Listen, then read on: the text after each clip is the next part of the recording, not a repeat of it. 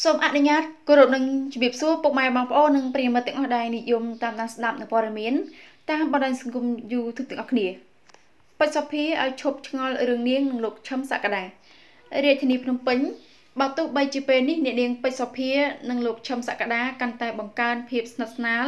នឹងគ្នាបែបណាក្តីនៅតែមានអ្នកខ្លះយល់ថាពួកគេបង្កើតស្នេហាខ្លែងបន្លំស្នេហារបស់ពេជ្រសុភានិងលោកឈឹមសក្តានៅតែមិនទាន់អាចធ្វើឲ្យទស្សនិកជនជឿជាក់នៅឡើយទេខ្លះថាអាចជាស្នេហាពិតប្រាកដនិងមួយចំនួនទៀតថាជារឿងខ្លាំងខ្លាយ ជាពិសេសទៀតនោះមានគេលើកឡើងថាស្នេហាអ្នកទាំងពីរជារឿងដ្រាម៉ាបើយោងទៅលើពេលវេលាយុគចាស់យូរមកហើយនោះមិនទាន់ឃើញប្រែប្រួលទៅជាអ្វីក្រៅពីរូបភាព sweet sweet ដដែលដដែលលើសពីនេះគូស្នេហ៍តារាមួយចំនួន គេឆាប់ចូលរោងការមិនទុកយូរជួបប្អូនទេព្រោះបើគិតទៅសភានិងសក្តាចិត្តដិតគ្នា4ឆ្នាំទៅហើយនៅតែប្រើពាក្យគូចិត្តដិតឬមនុស្សចិត្តដិត ជាការឆ្លើយតបកាលពីពេលថ្មីថ្មីកន្លងមក ទាំងពេជ្រសុភានិងឈឹមសក្តាបានរៀបរាប់ប្រដេញគ្នានាឱកាសចូលរួមពិធីមង្គលការរបស់តារាសម្ដែងប៉ែនចម្រុងសុភាឆ្លើយយ៉ាងលឿនថាប្រសិនបើយើងមានបំណងបំភាន់ភ្នែកមហាជនឬ fan សួរថាមានប្រយោជន៍អ្វីទៅ គេ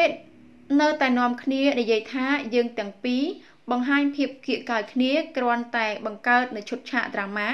សម្ដែងឲ្យគេមើលសម្រាប់ប្រជាប្រិយភាពប៉ុណ្ណោះ4ឆ្នាំទៅហើយដែលយើងបានចងក្រងចំណងស្នេហ៍នេះ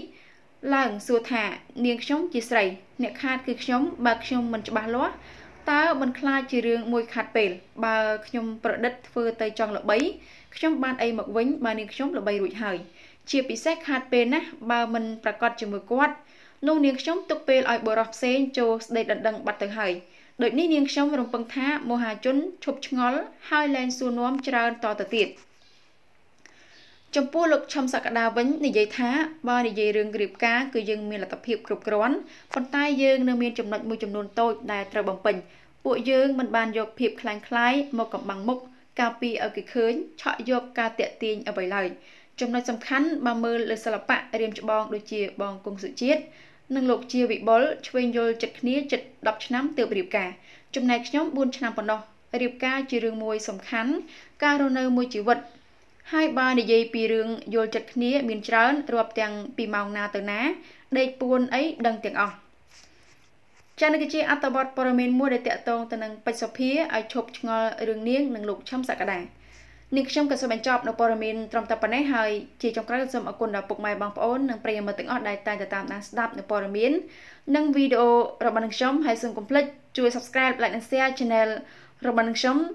ដើម្បីចាទទួលបានព័ត៌មានថ្មីៗជាបន្តទៀតផងដែរនៅពេលនេះនាងខ្ញុំសូមអរគុណសូមគោរពលា